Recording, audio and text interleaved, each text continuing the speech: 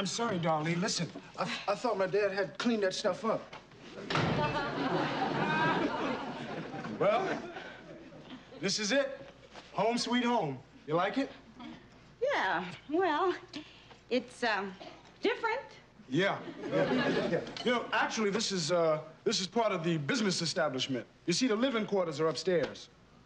Yeah, you'll find a lot of people are doing that nowadays, combining their uh, their professional business with their homes. It's uh, very smart tax-wise. Dad and I are in the commodities game. I thought you were in the junk business. Well, you see, that's just a common name for it. Now, you know, in the trade, we refer to it as commodities. Oh, I see. Yeah, yeah. See, I, I'll take you upstairs and show you the upstairs living quarters, but uh, Dad's up there asleep now, and we don't want to bother him. See, his room is done in Louis the 14th, and mine is kind of Swedish modern. You know? Oh, this is more like it. Yeah, just you and me.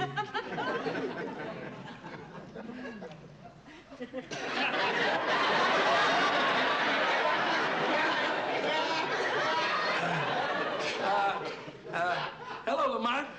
I thought I heard you come in. Oh, hi, Pop. Uh, Pop, this is Darlene Edwards. Darlene, this is my dad, Fred Sanford. Amen.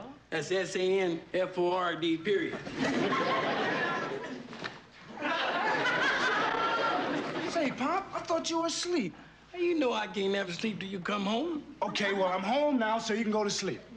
Say, what's that around your neck? You got a sore throat?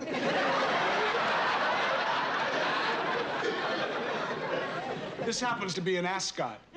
Well, if you gargle with some warm salt and water, you get rid of it. Well, good night, Pop. Yeah. Uh, where y'all go? To a movie? Yeah, we went to a movie. Yeah, I was watching a movie here on TV, a horror movie.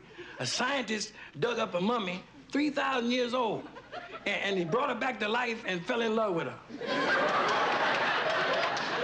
Isn't that disgusting? Yeah, right. It's all right to fall in love with somebody older than you are, but 3,000 years? Gee. Well, good night, Pop. Good night. Night, uh, Miss, uh, Miss, uh... Edward. Edward, yeah, Edward. Edwards, uh, is your father in the poultry business? No, no, he isn't. I used to buy my chickens from a guy named Edwards. Clarence Edwards, you remember him? No, I don't remember Clarence Edwards, Pop. Yeah, I had to get, I had to stop getting my chickens from him. Yeah, he sold me a bad one. Oh, really? Yeah. He sold me a chicken that died before he could kill it.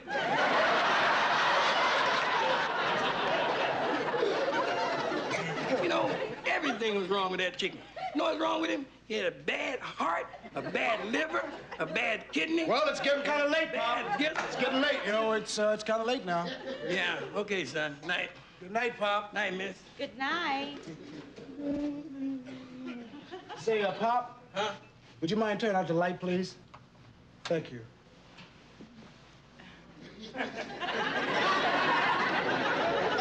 Excuse me. Excuse me. I thought I'd fix me something hot to drink to help me sleep. You folks want anything? No, we don't want anything. Well, I'm gonna have me a hot tea. Yeah, you folks sure you don't want any? Positive, Pop. Would you just go have your tea? I hate to waste a bag on one cup.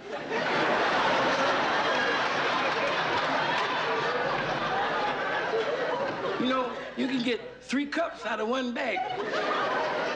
Yeah, right.